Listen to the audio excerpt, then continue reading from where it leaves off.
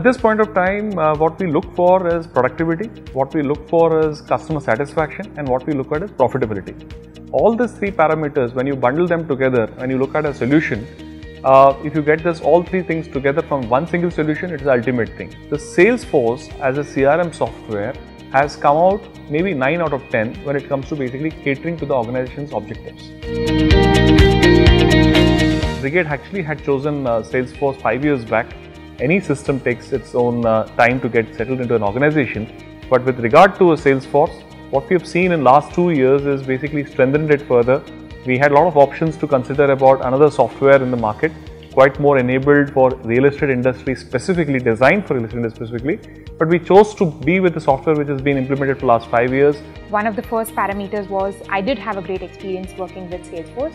Uh, the second was, of course, Salesforce was one of the first entrance into the real estate CRM software space. The third reason was, of course, it was open to a lot of customization that the industry required. Salesforce provides a ready-made platform wherein they can uh, get into all prospects, all their follow-ups, and it acts as their brain. They don't have to remember anything. Everything is captured there, and they know when to call back someone so, uh, I would say that uh, the impact has been quite positive and it has helped us grow our revenues year on year probably around 25 30 percent uh, to that extent. We did not have marketing as a function in mind when we started our Salesforce journey. It was essentially meant to be a lead lifecycle management system. So when we uh, eventually started integrating other parts of the marketing function, larger marketing function into Salesforce, we realized that it needs to be a system that integrates everything from the campaign that is required for lead generation to the time the person has actually made a booking and has been moved on to the ERP system that comes next in line. We've been growing uh, double digit growth on an annual basis. As a listed company, we have a lot of norms to be taken care when it comes to basically customer satisfaction, customer complaints. You are a listed company, SEBI looks into more simple things when it comes to looking at those as simple as what customer complaints were there, how they were resolved. We basically have created platform where customer starts rating us, customer starts sharing his feedback. So this whole feedback uh, flows back into the system saying that as a management, what do we need to take next steps, how it can be enabled. This can only be possible once you have a good platform backing you in the back end. What is more important is being proactive rather than being reactive. In a proactive approach, what happens is you basically have a partner coming and telling you what are the best practices, what is happening in the industry, how our problems can be solved into a solution, how it can be simplified. All those things need to come into the partnership and a regular interface, regular meetings, regular reviews actually helps the product to be much better and much more robust. What our experience has been with ET Marlabs is primarily we have, we have been 9 out of 10 in most of these points when it comes to basically attending a customer and making the life simpler for the customer when it comes to customer satisfaction.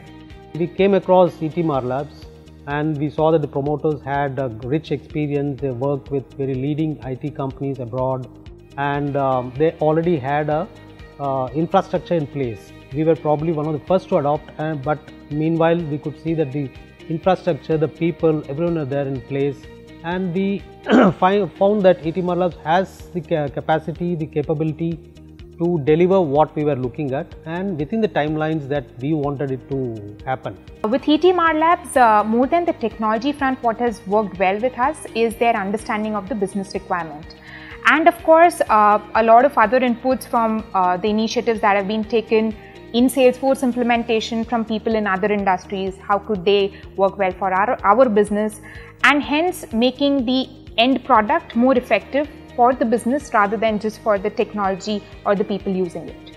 The team which is really very dynamic and patient in hearing, delivery in time and the support as well as the implementation team for different phases of developments, what we have enhancements, what we have done in Salesforce was really exciting. And the acceptance of the solutions which were delivered by ET Marlabs by the teams which were using all these solutions was amazing. When ET Marlabs came to us, it was called Extentor and uh, it had probably had just a couple of clients and we were one of the first big clients that uh, they connected with and started working with and I've seen it really growing now and working with big names and uh, recently when I met up and saw the list of clients that uh, ET Marlabs is working with, it was really a great pleasant surprise. Going forward, I can just wish them a lot of luck to grow much faster and bigger.